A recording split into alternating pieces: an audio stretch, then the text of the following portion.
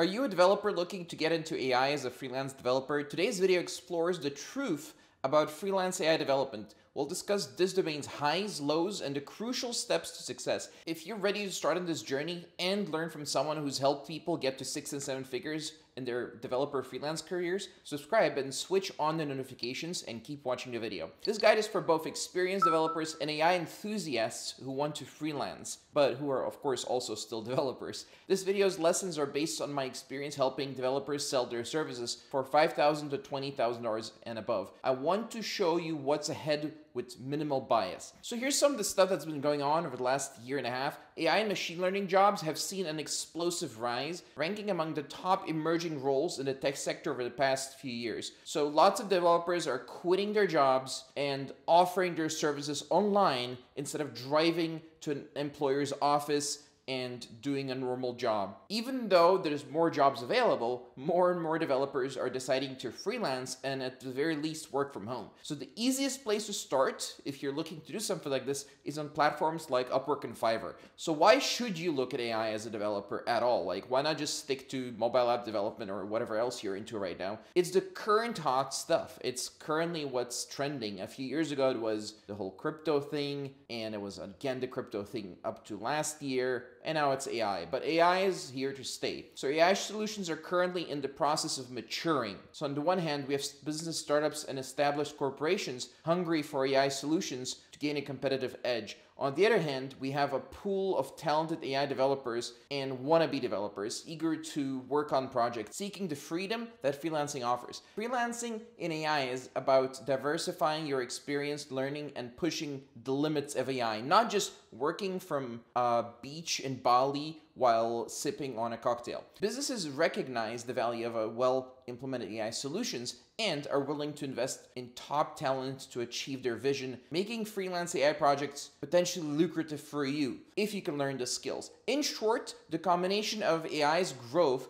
and the freelancing wave gives the perfect opportunity for AI engineers to be at the forefront of innovation and to get really cool projects by working online. Plus, once you're doing well enough as a freelancer, you can hire people and build a business out of the whole thing that you've been doing as a freelancer. Freelancing in any domain is not a walk in the park. And when you couple it with a field as complex and rapidly evolving as AI, difficulties multiply. First and foremost, the AI domain is fiercely competitive, with universities and online platforms churning out AI graduates and enthusiasts at an unprecedented rate. The market will eventually be saturated with talent. Right now, though, it's a barren wasteland in terms of talent. If you talk to a bunch of freelancers, almost none of them have any clue what they're talking about. They just like watched an online course and they're like, okay, I'm a developer now. Eventually, though, standing out will require not only expertise in AI, but also a unique value proposition, a specialization in a specific AI subfield or a track record of successful projects. A lot of people want to get into freelancing because it's seen as a life of leisure with flexible hours and freedom to work anywhere you want, but it requires discipline, consistency, and long hours when you start, and also for a long time afterwards. Setting realistic expectations with clients and picking the right clients in the first place is absolutely crucial. As a freelance AI developer, you're also a business owner, which means handling client communication, marketing your service, managing money, finances, and sometimes even dealing with difficult clients or payment disputes. Everyone loves a good payment dispute. Finally, the unpredictability of freelancing can be scary.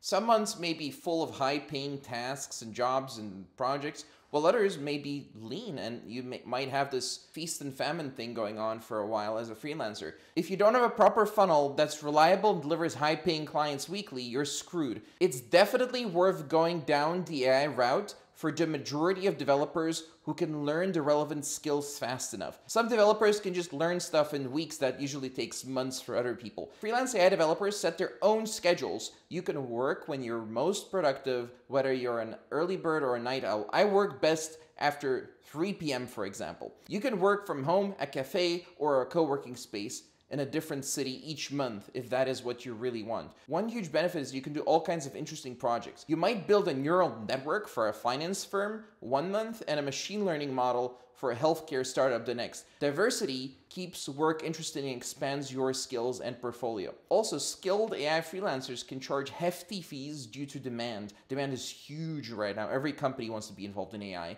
even non-tech companies. Unless you're the worst negotiator in the world, you're likely to get paid more for a freelance contract than a job on an hourly basis. Freelancers also grow faster. Clients, projects, and learning are your responsibility. Though scary, this encourages growth for you as a person. You become proactive, resourceful, and resilient. Qualities that benefit you personally and professionally, basically for your entire life. Freelancers create personal brands that can last a lifetime if you wish so. This can lead to recommendations, higher paying projects, and speaking engagements or workshops that you can do. Here are some steps to get you started. One, build a strong portfolio before you can convince potential clients of your expertise. You need to showcase your best projects, detailing the problem, your solution, and the results. If you're just starting out and don't have client projects to show potential clients, consider personal projects or contributions to open source AI initiatives. Specificity trumps everything.